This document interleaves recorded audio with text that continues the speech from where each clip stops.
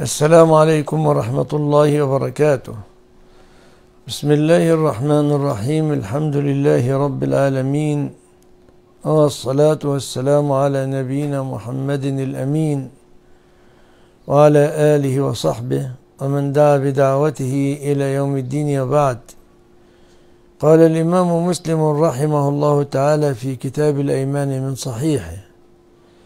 تحت باب ندب من حلف يمينا فرأى غيرها خيرا منها أن يأتي الذي هو خير ويكفر عن يمينه. قال حدثني أبو الربيع العتكي حدثنا حماد يعني ابن زيد عن أيوب وهو أيوب بن أبي تميمة السختياني عن أبي قلابة وهو عبد الله بن زيد الجرمي وعن القاسم بن عاصم عن زهدم الجرمي. قال أيوب وأنا لحديث القاسم أحفظ مني لحديث أبي قلابة. قال كنا عند أبي موسى فدعا بمائدته وعليها لحم دجاج. وعليها لحم دجاج. فدخل رجل من بني تيم الله أحمر شبيه بالموالي. أي ليس كأنه ليس من أهل البلاد كأنه مولى من الموالي. فقال هلم. فقال له هلم فتلكأ فقال هلم فإني قد رأيت رسول الله صلى الله عليه وسلم يأكل منه. فقال الرجل إني رأيته يأكل شيئا فقذرته. يعني الرجل الذي من بين تيم الله أبى أن يأكل الدجاج. لماذا أبى أن يأكل الدجاج؟ لأنه رأى الدجاج يأكل شيئا قذرا. فحلفت ألا أطعمه. فقال هلم أحدثك عن ذلك إني أتيت رسول الله صلى الله عليه وسلم في رهط أي في جماعة من الأشعريين أي من قبيلة أبي موسى.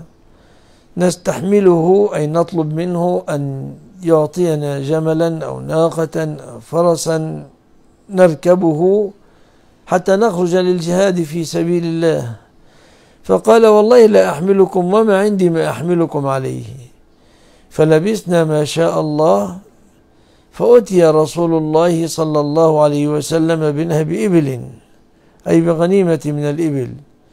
فدعا بنا فأمر لنا بخمس زود غر الذرة يعني الغر الأبيض. الذرة جمع ذروة يعني ذروة السنام بيضاء جمال ذروتها بيضاء.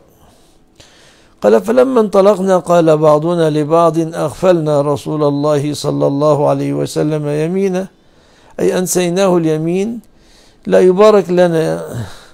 فرجعنا إليه فقلنا يا رسول الله إن أتيناك نستحملك وإن وإنك حلفت ألا تحملنا.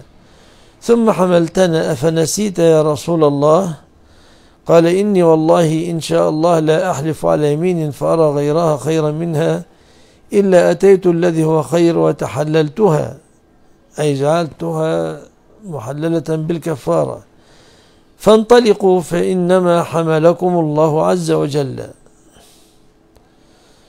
نعم وفي رواية عن زهد بن جرمي قال كان بين هذا الحي من جرم وبين الأشعريين ود وإخاء فكنا عند أبي موسى الأشعري فقرب إليه طعام فيه لحم دجاج.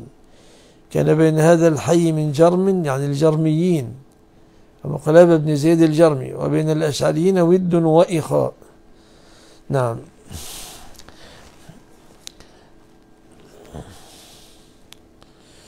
في زيادة في هذا الحديث إني والله ما نسيتها أي ما نسيت اليمين التي حلفتها. ولتحرر هذه الزيادة أيضا لكن على أي حال تحريرها ليس له كبير فائدة فيما أرى والله أعلم. في رواية عن زهدم عن أبي موسى الأشعري قال أتينا رسول الله صلى الله عليه وسلم نستحمله. فقال ما عندي ما أحملكم؟ والله ما أحملكم.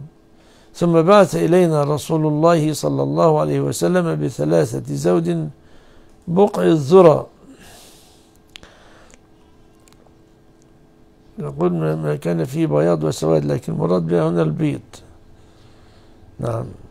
فقلنا إن أتينا رسول الله صلى الله عليه وسلم نستحمله فحلف أن لا يحملنا فأتيناه فأخبرناه فقال إني لا أحلف على يمين أرى غيرها خيرا منها إلا أتيت الذي هو خير إلا أتيت الذي هو خير. هذا وصلوات ربي وسلامه على النبي محمد وآله والحمد لله رب العالمين والصلاة صل اللهم على نبينا محمد وسلم تسليما كثيرا.